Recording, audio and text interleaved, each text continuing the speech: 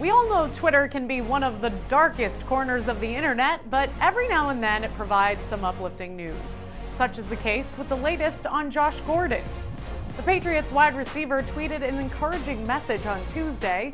It read, Blessed with so much, I couldn't ask for more. Life just keeps getting better.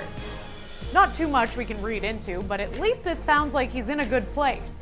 Gordon's on the commissioner's exempt list while serving his suspension for violating the NFL's substance abuse policy. Should he be reinstated, the Patriots are the only team Gordon can play for in 2019.